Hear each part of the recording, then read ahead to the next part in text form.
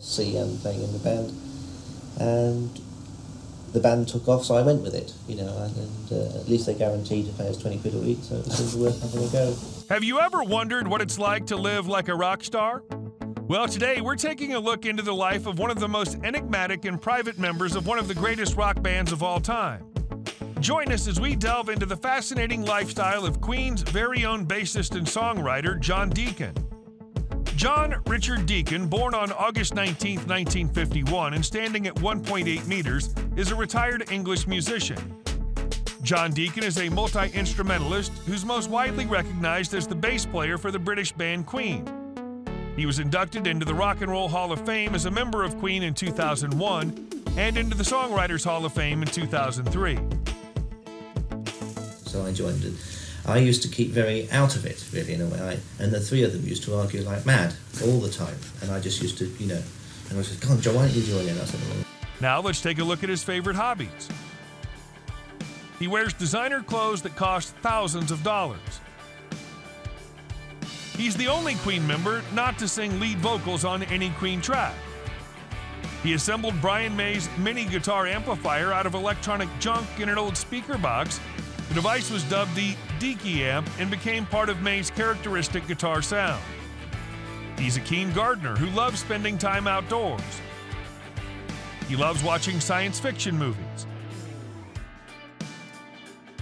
His favorite food is cheese on toast, and his favorite drink is milk. Super Freak is John Deacon's favorite song. be the main songwriters. Uh, they used to write individually, though, most of the time. And then Roger wrote one, really. Um, I think he wrote one on the first album. Let's see how he's getting on with his friends and family. John's married to Veronica Tetzlaff. The pair got married on January 18, 1975, and they have six children together. He wrote the Queen song You're My Best Friend in tribute to his wife Veronica.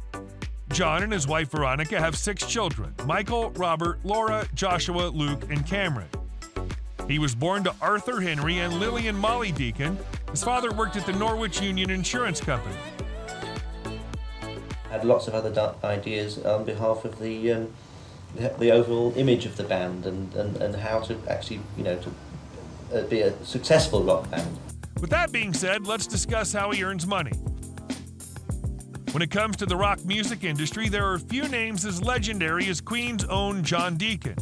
While he may have been the quietest member of the band, his financial success speaks volumes.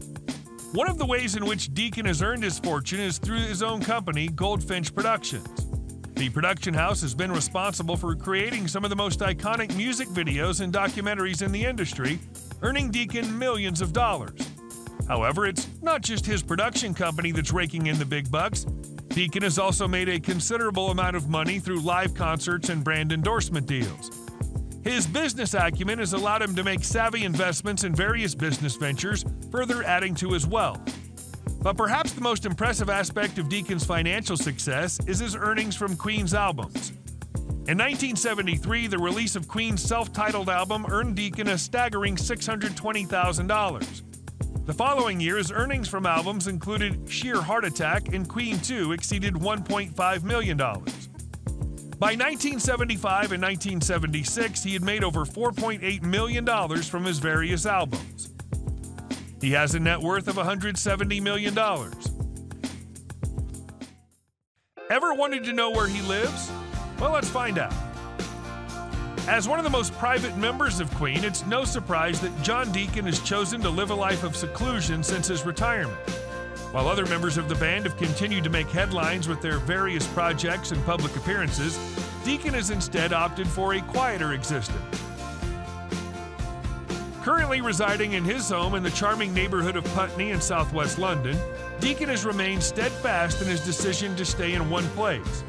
His reason for doing so is a noble one. He never wanted to disrupt the schooling of his children.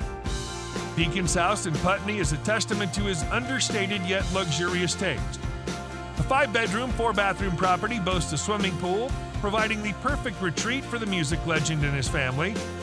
Despite the success and wealth he's accumulated over the years, Deacon has remained humble and down to earth, choosing to prioritize his family's well being above all else.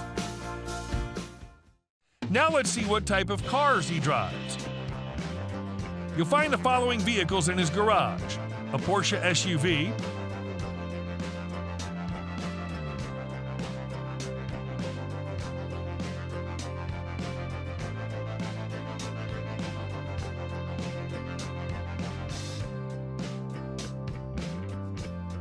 a 1978 Aston Martin V8 Vantage Coupe,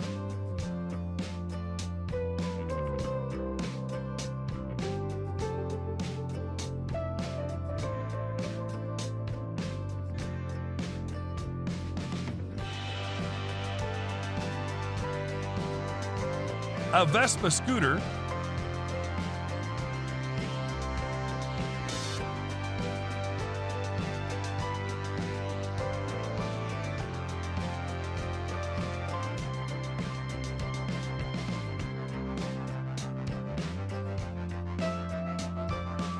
an Audi R8,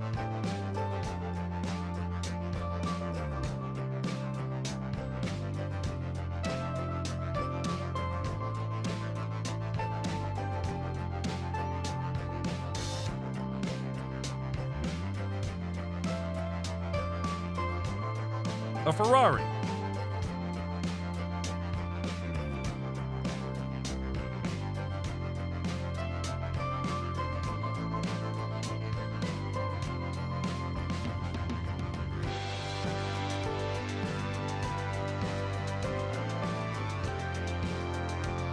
a Mustang Shelby,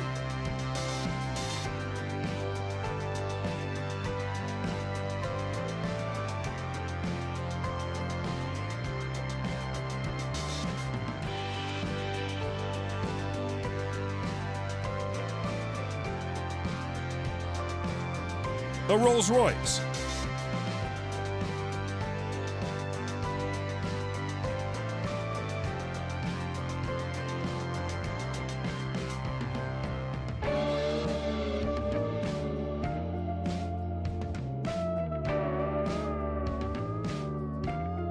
If you enjoy our videos, give us a thumbs up and hit the subscribe button. Your support means a lot to us. It's hard to get the full picture of someone's lifestyle without seeing how they got there. So, where did it all begin? He attended Linden Junior School in Leicester, Gartree High School. Deacon took an interest in electronics at an early age, reading magazines on the subject and building small devices. He studied well at Beauchamp Grammar School in Oadby and achieved eight GCE O level and three A level passes, all at grade A. He particularly enjoyed soul music. In 1965, at the age of 14, Deacon formed a school band, the Opposition. The band would go through many lineups and name changes, with Deacon eventually leaving the band altogether in 1969 to pursue studies in electronics at Chelsea College in London. In late 1970, he formed his own band, Deacon, that gave only one live performance at the college. In early 1971, he was introduced to Roger Taylor and Brian May, members of a newly formed band, Queen, at a disco.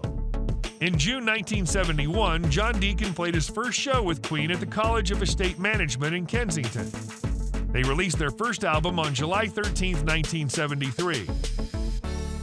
On November 8, 1974, the band released their third studio album, Sheer Heart Attack, and with it, Deacon debuted as a songwriter. From 1975, Deacon began to compose regularly, becoming well known for writing Spread Your Wings for their 1977 album, News of the World. However, he got his first worldwide hits when in 1980 he wrote Another One Bites the Dust and Need Your Lovin' Tonight for Queen's eighth album, The Game. From the mid 1980s, concurrently with playing for Queen, he also started playing for other bands, such as SAS. He officially retired from public life after Freddie Mercury's death in 1991, but continued to perform sporadically till 1997. Deacon has stayed out of the public eye since retiring. He chose not to be present at Queen's induction into the Rock and Roll Hall of Fame in 2001. That's all for today's video, and thanks for watching it. But don't stop here, there's more where that came from. Check out our other videos for more great content.